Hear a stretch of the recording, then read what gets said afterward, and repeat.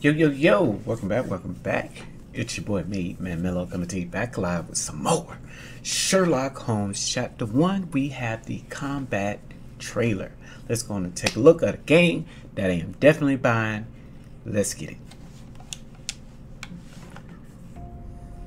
First, dodge the shotgun discharge. Then, destroy the armor. The snuff box to distract the target. Discombobulate. Boom! His favorite move. Welcome to Sherlock Holmes Chapter 1, an open world action investigation game that lifts the curtain on what could be the first case of the world's greatest detective. Armed with his bright mind, unyielding stubbornness, and arrogance, young Holmes has no issue tackling lawbreakers face to face. In this video, we are going to take a closer look at what tools Sherlock has in his disposal to Use the bring criminals fisticuffs. to justice. I'm sick of. Who's this peacock? Does he know who I am? I definitely know who you are not.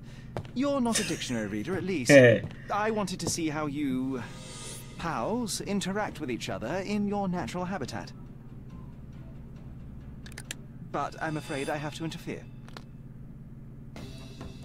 While gunfights only happen ever so often, they require focus and fast reflexes.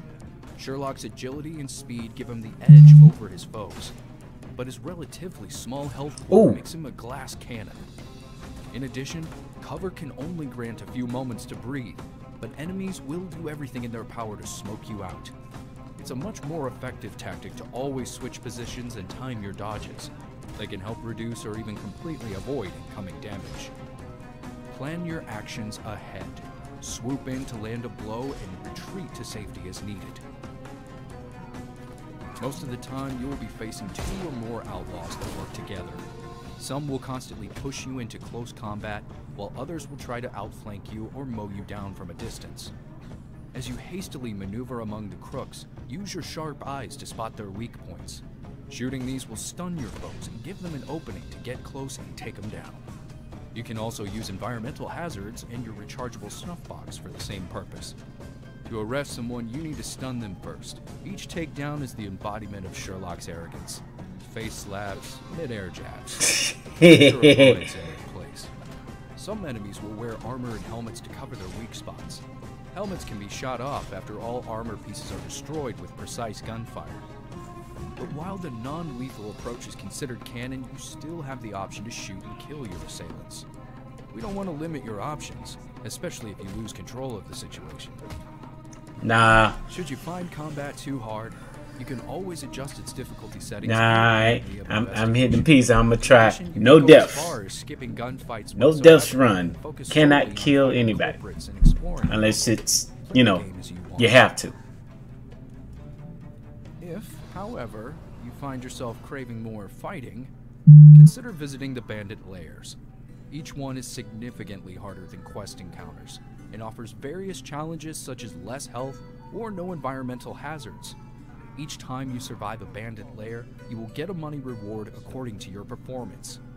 The less shooting you do, the less damage you take, and the more challenges you activate, the better your score and reward multiplier will be. After beating each danger zone, you can use your money to buy new outfits or rebuild your family mansion.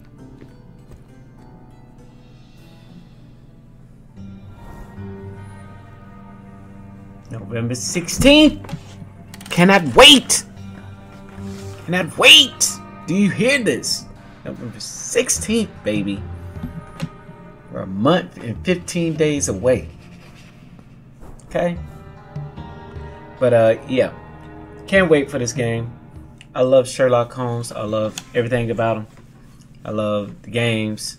This one is going to be another classic. So thank you for tuning in. This is your boy Made Men Melo. You guys have a wonderful, wonderful night. Peace.